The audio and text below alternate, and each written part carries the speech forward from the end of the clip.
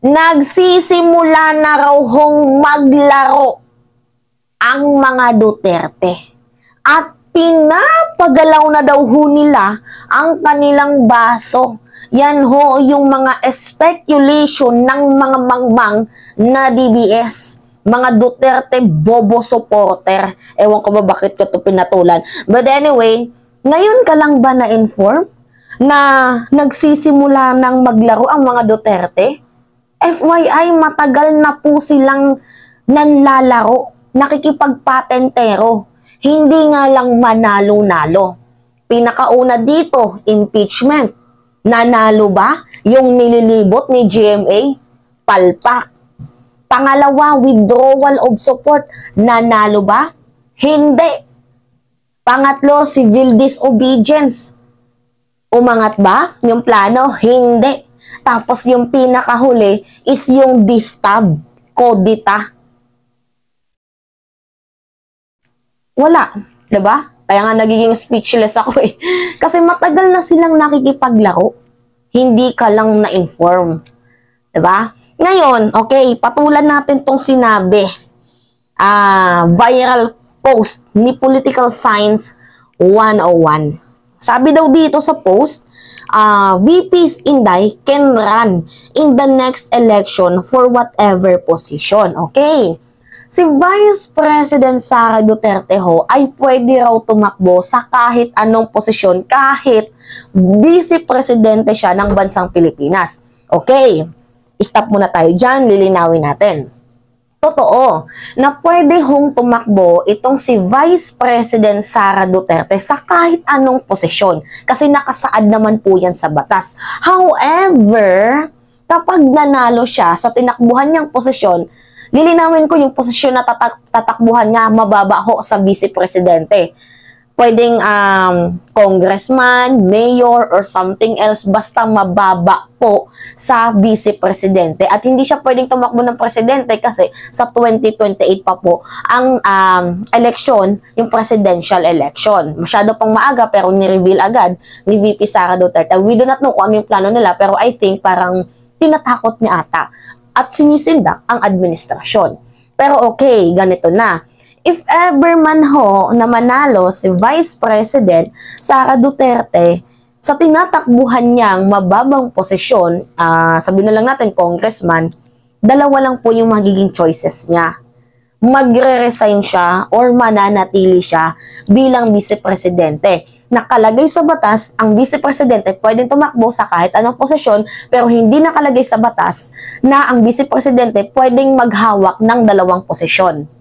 So kapag nanalo siya, whether na magre-resign siya or mag stay bilang vice-presidente. So pwede siyang uh, tumakbo as long as VP siya ngayon pero kapag nanalo siya, magre-resign siya. May pipiliin siyang isang posisyon. Whether VP man to or yung certain position na tinakbuhan niya. Okay. So sabi dito, kapag natalo siya, she can stay as VP. However, if she wins, she can uh, take the new position by resigning as VP. Yan yung sinabi ko sa inyo kanina. Halimbawa, tumakbo siyang congressman either sa first district of Davao or she can run under the party list ISDA, Inday Sara Duterte Alliance. Ah, pwede pala yon. Paki-confirm nga kung pwede siyang tumakbo under the party list of ISDA. Hindi ako informed dito kasi uh, ngayon ko lang to nabasa. So, on the spot ko tong kinontent para makakuha din ako ng reaction ko.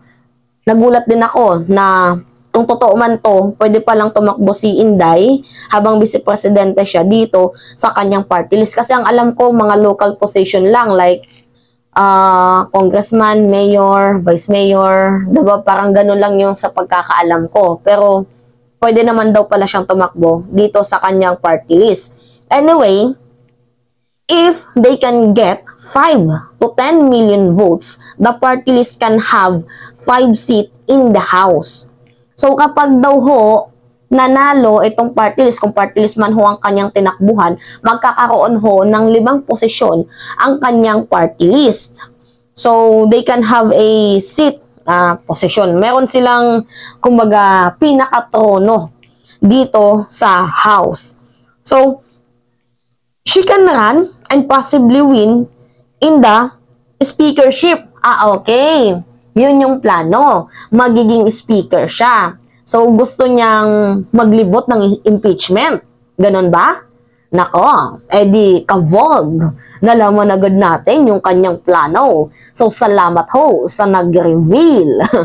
so, ngayon, si Pangulong Bongbong Marcos naman ang gumagawa ng way ng defense na hindi ho mangyari itong attacking to. Wow. Talagang literal na na wala na guys, split up na talaga itong unit team at kanya-kanya pataasan na lang ng ihi, pride, ego. So, hindi na para sa bayan yung ginagawa ng kabilang kubon eh. Para na sa pansariling interest.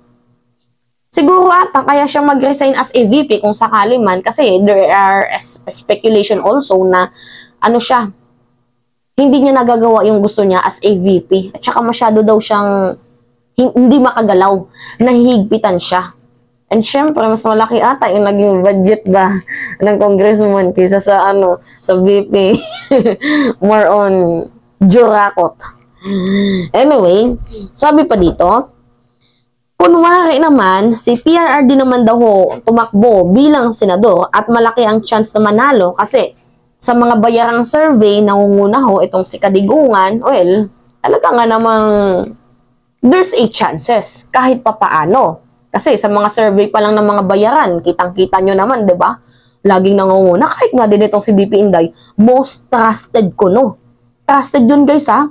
Ah, bilang Vice President and Deputy Secretary. Pero ano yung nangyari? Most trusted pero bagsak sa PISA? Ah, wag kami. Okay. He can seek the Senate presidency and most likely win it. Okay.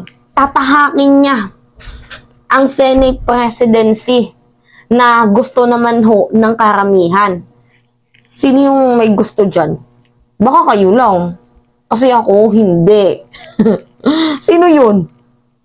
Gawa-gawa kayo ng ano nyo, ng mga imagination. Okay lang, wala namang masamang mag-imagine. O, ito guys yung plano nila. Pero natatawa ako ah. Oh, okay. Sabi dito, uh, it is most likely the Senate, ah, wait lang. If Inday decide to resign as VP, it is most likely the Senate President will become the Vice President. So, BBM as a President, Digong as VP, it is not far to fetch to have Bongo or Bato as Senate President and Inday Sara as Speaker. O, ba masaya? O, ba anong kabobohan yan? nasobrahan na yung imagination nyo at hinding hindi yan mangyayari. Tapusin mo yung termino mo. ba? And okay, pwede kang mag-resign. Wala naman kami pakialam sa'yo. Ikaw yung tipong wala pang nagagawa pero ang yabang mo na. Ikaw yung tipong wala pang napapatuna- napapatunayan pero naghahangad ka na ng ibang posisyon. See? Yan daw ho yung yung ano nila, yung laro. Wow! Sinumpak mo lang nag ano. May nagsend lang sa akin ito, guys. Ano na nakabubuhan? Hindi ko nakayanan yung mga imagination. Yan daw ho yung laro ng mga Duterte ngayon. Ay, nako, Diyos ko.